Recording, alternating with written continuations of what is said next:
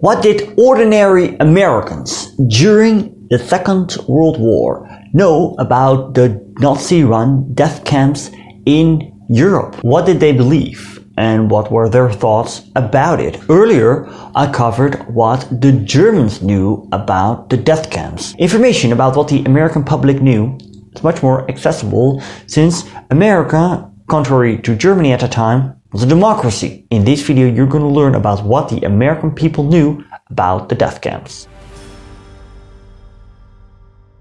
Good to have you back on the channel. If you're new, my name is Stefan. I'm a Dutch history teacher. I cover history for you. If you find it interesting, consider subscribing. Also hit that notification bell. And if you want to support me, you can do so via Patreon or via PayPal. The links are in the description. When 1942 came around, over 1 million Jews had been shot in Eastern Europe by the Einsatzgruppen. These shootings started right after the Germans invaded the USSR in June 1941. Although in 1939, Poles and Polish Jews were murdered in mass shootings as well. These shootings were ineffective Gas vans were introduced, but also these were too time consuming. In January, the Wannsee Conference took place. Here, the final solution of the so-called Jewish question was presented. Extermination camps were to be set up to transport the European Jews with the goal of total extermination. Jews were no longer deported to the ghettos but to the extermination camps such as Sobibor, Treblinka and Auschwitz-Birkenau, located in German-occupied Poland. The death camps had to be a secret according to Reichsfuhrer SS Heinrich Himmler. The secret leaked out sooner than he expected. The Polish government in exile and diplomats from Switzerland got information from secret agents and reported extensively on the topic. By the end of 1942, the secret of the death camps for sure was not a secret anymore to the outside world. How did the governments of Great Britain and the US react to this? The first fact was officially presented by the Polish government in exile in June 1942 which stated that 700,000 Polish Jews were already killed by the Nazis. Near the end of 1942, it became clear the killings were part of a systematic plan, and Jewish public figures, as well as the Polish government in exile, wanted the British and the US governments to explicitly condemn the killings, which happened in a declaration on December 17, on 1942. Uh, in the previous videos, we talked about how the secret of the death camps leaked out exactly and what the Allied response was. If you'd like to learn more about that, I'll put links in the end cards of the video. So how did the US public reacted to this? What about the American public? To what extent were they aware of what befell the Jews in Eastern Europe?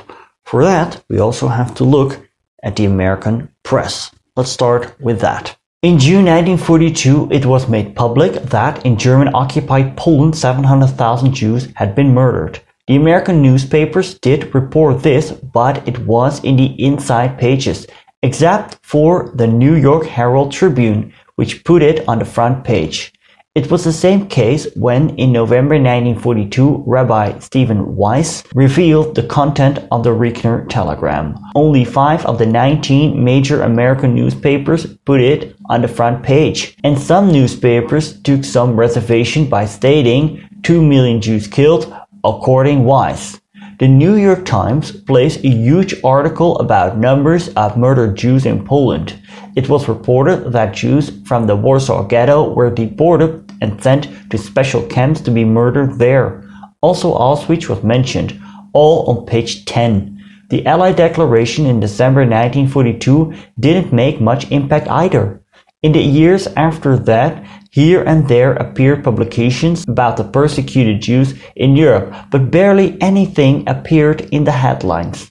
And if the fate of the Jews was mentioned, it was linked to other groups that were targeted also. What did reach the front page was the German massacre of the Czechs in Lidice as a reprisal for the death of SS leader Heydrich. Just as we saw with the Allied leaders, there was a generalization of the Jews' suffering by the American press. It's true that Jews were not the only victims of Nazi terror. Think of the mentally disabled, Roma and Sinti, gays, Jehovah Witnesses, not to mention whole populations of Slavs. It can be said that the Jews were the biggest group that was persecuted that severely and systematically. So how can we explain this reserved attitude by the American press? Powerlessness did play a role. What were Americans here and now going to do about it? Also, anti Semitism. Not necessarily anti Semitism among the journalists themselves, but more out of fear of anti Semitism of the public. Even Jewish American organizations they downplayed the facts to avoid any semblance of Jew loyalty. Even American Jewish organizations explicitly mentioned that Jews were not the only victims of Nazi terror. Disbelief and incomprehension played a role too.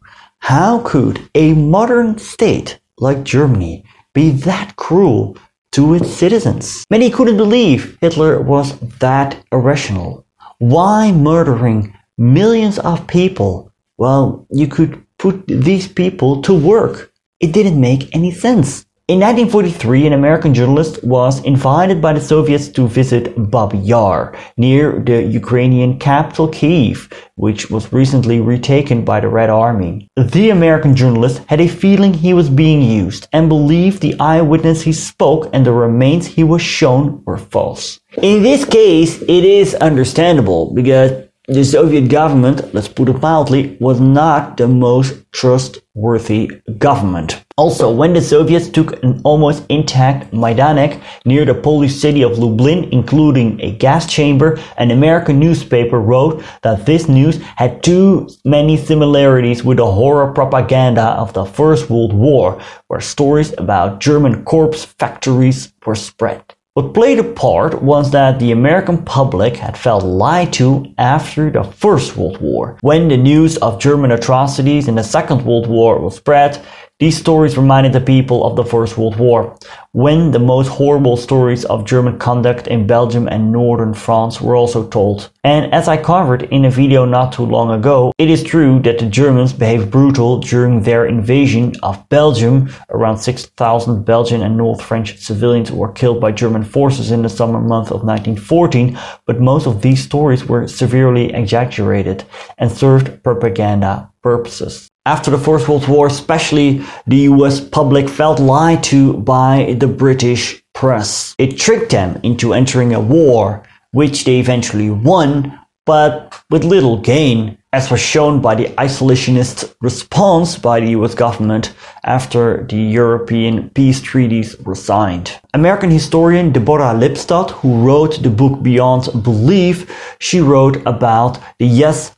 but attitudes. Some facts of the horrible news were accepted, other dismissed. It went a little bit like this. Yes, terrible things are happening, but not that terrible. Yes, many Jews have died, but most died because of hardships instead of murder. Yes, some Jews have been murdered, but not in gas chambers. Yes, some Jews have been gassed, but many other people too. In the US, opinion polls were held during the war. Shortly after the Allied declaration in December 1942, polls were held to find out if the American people believed these reports. Less than half believed it, almost 30% did not, and one quarter had no opinion. Two years later, another opinion poll was held, shortly after many newspapers covered Auschwitz. The public was asked if the Germans have killed many people. Jews were not explicitly mentioned in camps and to make an estimate of the number of people killed. Many people believed 100,000 or less. One quarter had no idea and one out of 10 believed 1 million or more. In May 1945, after the camps were discovered and or liberated, the same question was asked. Many people claimed 1 million.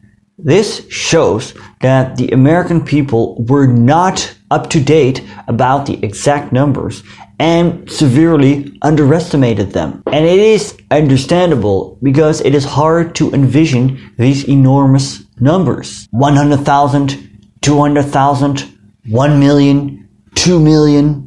It's hard to comprehend. American activists later recalled they were not able to break through the wall of disbelief of the American public. Jewish Hungarian author Arthur Koestler explained. A dead dog disrupts our balance and digestion. Three million murdered Jews in Poland cause little more than mild discomfort. Statistics don't bleed, it's the detail that counts. Koestler did not receive much response. Some accused him of spreading atrocity propaganda and others claimed he better should save his energy for rebuilding a better world once the war was over. The American case shows us that the availability of detailed and accurate information does not equal the amount of knowledge of the public. Yes, the American public knew Jews were being murdered in the East, but they didn't see this as a planned extermination, more like a series of massacres. They couldn't grasp the intention of the Nazis. Why slaughtering so many innocent people? They saw atrocities, terror, and murder instead of genocide. And it's interesting to draw parallels with today. I have a lot of people who comment underneath my videos stuff like, it's the same as the this or that, or nothing has changed. And I often dismiss these comments as oversimplifications. But to be fair, sometimes there is some truth in it. And you can't dismiss the American people back then as dumb or ignorant. But try to imagine. You had years of economic hardships behind you because of the Great Depression. Now your country is dragged into a European war again. And then you hear all kinds of atrocity stories of horrible things that are happening in a region far, far away from you. In the Netherlands, we refer to this as a ver van mijn bed show, a far from my bed show, which means that something occurs so far away, it's hard to envision it, to comprehend it. And when it comes down to these things, people have the tendency to downplay it. More like, it can be that bad, right? To conclude with a very cynical quote of Soviet dictator and mass murderer Joseph Stalin, who once said, A single death is a tragedy. A million deaths is a statistic.